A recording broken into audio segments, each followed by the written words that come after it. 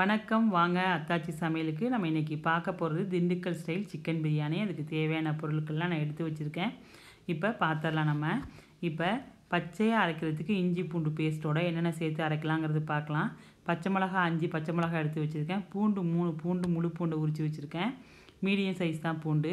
வெங்காயம் வந்து ஒரு இரநூறு கிராம் சின்ன வெங்காயத்தை நான் உரித்து வச்சுருக்கேன். இஞ்சி பெரிய துண்டு ஒன்று சின்ன துண்டு ஒன்று வச்சுருக்கேன். இந்த அளவு கரெக்டாக இருக்கும் அரை கிலோ சிக்கனுக்கு இப்போ நம்ம வந்து ஜாதிக்காய் சின்ன பீஸ் ஜாதிக்காயும் ஜாதி பத்திரி பட்டை ஒரு மூணு துண்டு மராத்தி முக்கு பிரிஞ்சி இலை ஏலக்காய் பத்து ஏலக்காய் கிராம்பு ஏழு ரெண்டு ஸ்டார் பூ இது எல்லாமே வச்சுருக்கேன்.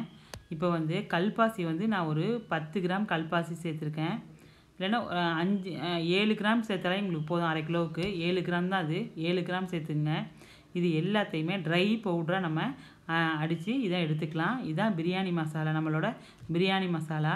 இதை நம்ம என்ன பண்ணலாம்? நல்லா உடச்சி போட்டு நல்லா நீங்கள் நைஸ் பவுடராக அரைச்சிக்கங்க. அப்போ தான் நல்லாயிருக்கும். இப்போ நான் அரைச்சி எடுத்துட்டேன். நைஸ் ஃபைன் பவுடராக நான் அரைச்சி எடுத்துட்டேன். இது எல்லாமே நம்ம தண்ணி ஊற்றி தான் இப்போ அரைக்க போகிறோம் இது எல்லாத்தையும் நம்ம இஞ்சி பூண்டு பேஸ்ட்டு சின்ன வெங்காயம் இது எல்லாத்தையுமே நம்ம என்ன பண்ணலாம்னா நல்லா தண்ணி ஊற்றி நம்ம அரைச்சிக்கலாம். வெங்காயம் நல்லா பெருசு பெருசாக இருக்கிறதுனால இது ஒரு நூ இரநூறு கிராம் இருக்கும். இப்போ நான் எல்லா ஜாமான் அரைச்சி வச்ச பவுட்ரு இஞ்சி பூண்டு பேஸ்ட்டு வெங்காயம்லாம் அரைச்சது தயிர் ஃப்ரெஷ்ஷாக தயிர் இது எல்லாமே எடுத்து வச்சுருக்கேன். இப்போ வந்து ப தாளிப்புக்கு இலை மல்லித்தூள் மிளகாய்த்தூள் சீரகத்தூள் எடுத்து வச்சுருக்கேன். மல்லித்தலை புதினா கட் பண்ணி நைஸாக அரிஞ்சு வச்சுருக்கேன். அரிசி வந்து ஜீரக சம்பா அரிசி தான் இங்கே செய் தி- திண்டுக்கல் பிரியாணிக்கு நல்லாயிருக்கும். அதனால் ஜீரக சம்பா அரிசியை அரை மணி நேரம் ஊற வச்சு வச்சுருக்கேன். சிக்கன் அரை கிலோ அரிசி அரை கிலோ கரெக்டான அளவு இது. இதுக்கு தேவையான பொருட்கள்லாம் இதான் வச்சுருக்கேன். லெமன் ஜூஸ் மட்டும் நீங்கள் ஒரு பாதி லெமன் ஜூஸை கட் பண்ணி வச்சுங்க. இதில் ஒரு நூறு கிராம் எண்ணெயை நம்ம சேர்த்துக்கலாம். எண்ணெய் சேர்த்துட்டு இதுக்கு பட்டையெல்லாம் தேவையில்லை. வெறும் பிரிஞ்சி இலையை மட்டும் போட்டு நம்ம தாளிச்சிக்கிறோம். ஏன்னா பட்டை பட்டையெல்லாம் சேர்த்து நம்ம பவுட்ரு பண்ணி ஏற்கனவே எடுத்து வச்சுருக்கோம். அதனால் அதெல்லாம் தேவையில்லை. பிரிஞ்சி இலையை மட்டும் நல்லா எண்ணெயில் பொரிய விடுங்க. பொரிய விட்டுட்டு இஞ்சி பூண்டு பேஸ்ட்டை நம்ம எல்லாத்தையும் இப்போ பச்சையாக அரைச்சிருக்கிறது. ஃபுல்லாக இந்த எண்ணெயில் நல்லா வதங்கி கலர் சேஞ்ச் ஆகணும் நல்லா. அப்போ தான் நமக்கு அந்த பச்சை வாடையெல்லாம் போயிடும். இப்போ ஒரு அரை ஸ்பூன் மஞ்சள் தூள் சேர்த்துங்க. ரொம்ப வேணாம். அரை ஸ்பூன் மஞ்சள் தூள் சேர்த்துக்கிட்டு சில பேர் சேர்க்க மாட்டாங்க. ஆனால் மஞ்சள்தூள் சேர்த்தா நல்லாயிருக்கும் அதனால் கொஞ்சம் ஒரு அரை ஸ்பூன் மஞ்சள்தூள் சேர்த்துங்க. சேர்த்து நல்லா அடி பிடிக்காமல் நல்லா கிண்டி விடுங்க. சேர்த்த எண்ணெயெல்லாம் கக்கி வெளியாயிடுச்சு. அது வரைக்கும் நல்லா வதக்கணும். இப்போ பிரியாணி மசாலாவை நம்ம போட்டுடலாம். பிரியாணி மசாலா போட்டு இதையும் நல்லா வதக்கினா கருப்பு கலரில் வரும். அது மாதிரி வந்தால் தான் நமக்கு நல்லாயிருக்கும் அந்த பிரியாணிக்கு. இப்போ நல்லா அடி பிடிச்சதெல்லாம் நல்லா எடுத்து விட்டு நல்லா கிண்டி விட்டிங்கன்னா போதும். இப்போ தயிர் சேர்க்கும்போது கீழே ஒட்டவே ஒட்டாது உங்களுக்கு. ஜீரகத்தூள் அரை ஸ்பூன் மல்லித்தூள் அரை ஸ்பூன் மிளகாய்த்தூள் அரை ஸ்பூன். இது எல்லாத்தையும் நம்ம உள்ளே போட்டு வதக்கிக்கலாம். பச்சை வாடை அப்போ தான் போகும். இது மாதிரி கருப்பு கலராக வந்துருச்சு பார்த்தீங்களா இப்போ இதை நல்லா வதக்கிக்கலாம். நல்லா வாசனையாக இருக்கும் இது வதக்கும் போது இப்போ தயிர் ஃபஸ்ட்டு நாலு ஸ்பூன் போட்டு கீழே பிடிச்சிருக்கிறதெல்லாம் எடுத்து விட்டு சுத்தமாக கிளறிக்கிங்க.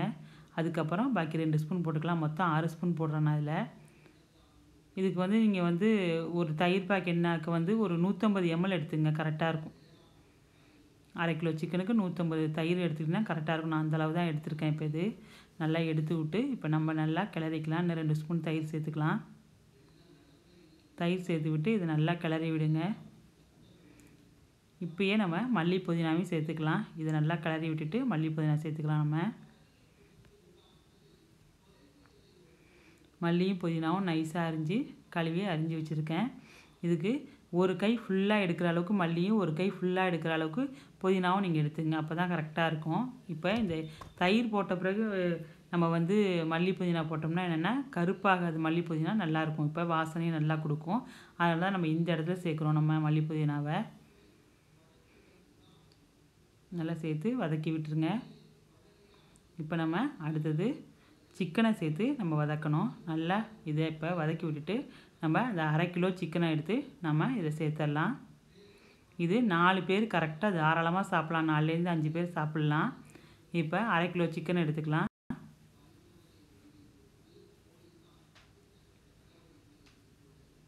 தண்ணி இல்லாமல் புளிஞ்சி போட்டுங்க சிக்கனை இப்போ நல்லா அந்த சிக்கனில் மசாலா எல்லாம் பிடிச்சி சேர்ற மாதிரி நல்லா வதக்கி கிண்டி விடுங்க. இந்த மசாலா எல்லாம் அதில் சேரணும். அப்போ தான் நல்லாயிருக்கும். நல்லா அதுலேயே வதங்கட்டும்.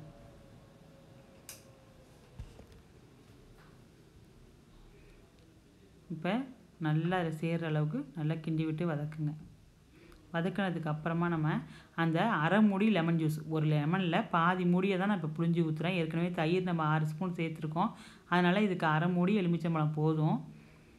நல்லா வதக்கி விடுங்க. தக்காளி சேர்க்காதனால தான் இந்த லெமனை நம்ம சேர்க்குறோம். இல்லைன்னா நம்ம சேர்க்கணுன்னு அவசியம் கிடையாது. இப்போ சேர்த்தாச்சு. நான் ஒன்றே முக்கால் டம்ளரு அரிசி இருந்துச்சு.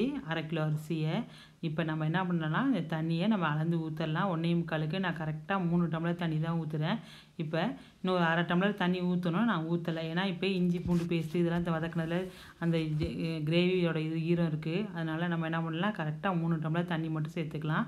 அப்போ தான் நல்லாயிருக்கும் இது தண்ணி கிடையாது.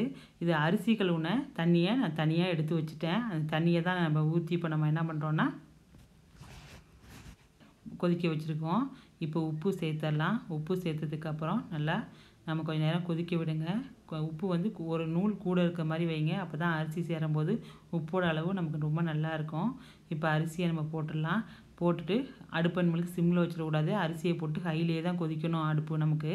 சிம்மில் வச்சிங்கன்னா அரிசி ஒரு மாதிரி ஊறி ஊறி போன அரிசி மாதிரி ஆகிடும் அதனால் அப்படி ஆகிடக்கூடாது அதனால் இப்போ என்ன பண்ணோம் அரிசி அடுப்பில் போ அதுக்கு இந்த பிரியாணி இதில் போட்டோனுமே நம்ம அடுப்பை வந்து ஹையிலே தான் வச்சுருக்கணும். சிம்மில் வைக்கக்கூடாது. நல்லா கிண்டி விட்டு நம்ம இப்போ மூடி வச்சிடலாம். மூடி வச்சிட்டிங்கன்னா இப்போ அரிசி நல்லா கொதிக்கும்.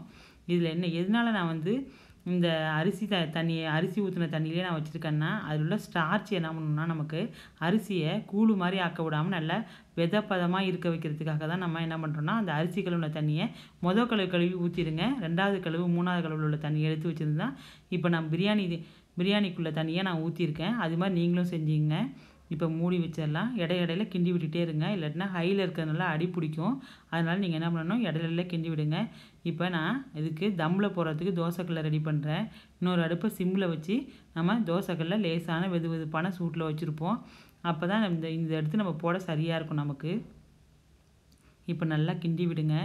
இடையில இடையில கிண்டி விடுங்க. அடுப்பு ஹையிலே இருக்கட்டும் சிம்மில் இருக்கக்கூடாது நம்மளுக்கு. இப்போ நல்லா கிண்டி விட்டு அந்த தண்ணியெல்லாம் ட்ரை ஆகும். அது வரைக்கும் நீங்கள் பொறுமையாக கிண்டி விடுங்க. ரொம்ப கிண்டினீங்கன்னா என்னென்னா அரிசி வந்து உடஞ்சிரும். அதனால் உடையாமல் நம்ம பூ போல் நல்லா கிண்டிக்கிங்க. கீழே அடி பிடிக்காமல் அடியிலேருந்து உள்ளே விட்டு இப்படி கிண்டி எடுத்திங்கன்னா என்ன ஆகும்னா அடியும் பிடிக்காது அரிசியும் உடையாது. அதுக்கு தகுந்தாப்புல நீங்கள் செஞ்சீங்க. இப்போ தண்ணி நல்லா கொதிச்சு இப்போ ட்ரை ஆகிடுச்சு பார்த்தீங்களா இன்னும் ஒரு அஞ்சு நிமிஷம் இருக்கட்டும். இருங்க அந்த தண்ணியெல்லாம் கொஞ்சம் குறையட்டும். சிக்கனும் நல்லா வந்திருக்கும். ஜூஸியாக இருக்கும். சிக்கன் வந்து ட்ரை சிக்கனாக இருக்காது இப்போ. நல்லா ஜூஸியாக இருக்கும். அதனால தான் நம்ம இந்த மாதிரி வைக்கிறது. இப்போ கொஞ்சம் நேரம் நம்ம என்ன பண்ணலாம்? வெயிட் பண்ணி அந்த தண்ணியெல்லாம் கொஞ்சம் இஞ்சட்டும். இஞ்சினதுக்கு அப்புறமா நம்ம என்ன பண்ணணும்னா வேர்வை தண்ணி மேலே படாமல் இருக்கிறதுக்கு நம்ம இப்போ என்ன பண்ணணும்னா வாழை இலை கிடச்சிச்சின்னா வாழை இலையை போட்டு நீங்கள் மூடிக்கலாம். வாழை இலை கிடைக்கலன்னா நல்ல வெள்ளை துணியை எடுத்து அலசிட்டு நல்லா புளிஞ்சி ஈரப்பதமாக இருக்கும்போது இந்த மாதிரி மேலே போட்டு நீங்கள் மூடி வச்சிட்டிங்கனாலும் அந்த வேர்வை தண்ணி படாது. நான் வேலை வாழை இலை எனக்கு கிடச்சதுனால நான் என்ன பண்ணிட்டேன்னா வாழை இலையை வச்சே மூடிங்க மு- முடிஞ்ச வரைக்கும் நீங்கள் வாழை இலையை யூஸ் பண்ணுங்கள் அதான் நல்லாயிருக்கும் இப்போ நல்லா மூடியாச்சு. அடுப்பை அடுப்பை ஆஃப் பண்ணிட்டேன் நான் இப்போ. ஹையில் இருந்த அடுப்பை இப்போ தான் நான் ஆஃப் பண்ணியிருக்கேன். ஆஃப் பண்ணிவிட்டு நம்ம இதை தூக்கி மாற்றிட்டு தோசைக்கல்லை இதில் வச்சு இப்போ மறுபடியும் என்ன பண்ண போகிறோம் தோசைக்கல்லை வச்சு அஞ்சு நிமிஷம் ஹையில் வைக்க போகிறோம் இப்போ சிம்மில் வச்சு தான் எடுத்திருக்கேன் இப்போ. சூடாக தான் இருக்குது தோசைக்கல் இப்போ அடுப்பை நல்லா ஹையில் தூக்கி விட்டுட்டு நம்ம என்ன பண்ணணும்? இப்போ பாருங்கள் காட்டுறேன் உங்களுக்கு. இப்போ நல்லா அடுப்பை ஹையில் தான் நான் வச்சுருக்கேன். ஹையில் வச்சுட்டு பிரியாணியை மறுபடியும் நீங்கள் என்ன பண்ணணும்? அஞ்சு நிமிஷம் ஹை குக்கிங் தான் பண்ணணும். ஸ்லோவெலாம் வைக்கக்கூடாது. இப்போ நம்ம ஹையில் வச்சோம்னா தான் என்ன ஆகும்? அந்த தண்ணியெல்லாம் நல்லா ஈ உறிஞ்சி நமக்கு ட்ரை ஆகும். அது வரைக்கும் நீங்கள் பொறுமையாக நில்லுங்க. அஞ்சு நிமிஷம் வெயிட் பண்ணுங்கள் அஞ்சு நிமிஷம் ஹையிலேயே வச்சுருங்க. நம்மளுக்கு திறக்க முடியாது. அஞ்சு நிமிஷம் ஹையில் வச்சு அப்புறம் அதுலேருந்து நீங்கள் ஒரு பதினஞ்சு நிமிஷத்துக்கு என்ன பண்ணுன்னா சிம்மில் வைக்கணும். சிம்மில் வச்சுட்டு அதுக்கப்புறம் உடனே டக்குன்னு நீங்கள் திறந்துடக்கூடாது பிரியாணி அதுக்கப்புறம் ஒரு பத்து நிமிஷம் வெயிட் பண்ணி அந்த வேர்வை தண்ணியெல்லாம் குறைஞ்சதுக்கு அப்புறம் திறந்தீங்கன்னா இந்த மாதிரி வரும் பிரியாணி. இப்போ நான் ஆஃப் பண்ணி பத்து நிமிஷம் கழித்து தான் நான் இப்போ பிரியாணியை திறக்கிறேன். இப்போ பாருங்கள் தண்ணி எதுவுமே இல்லை. பிரியாணி சூப்பராக ரெடி ஆகிடுச்சி நல்லா கம கமன்னு வாசனையாக இருக்குது இந்த மாதிரி திறந்து எடுங்க. எடுத்துட்டு இப்போ கரண்டியை எடுத்து நீங்கள் உள்ளே எடுத்து பார்த்தீங்கன்னா அப்படியே சாதம் புலப்புலன்னு உதிரியாக இருக்கும். மேலே வேணால் என்ன பண்ணுங்க ஃபஸ்ட்டு ஒரு ஸ்பூன் நெய் விட்டு லேசாக ஃபுல்லாக தடவி விடுங்க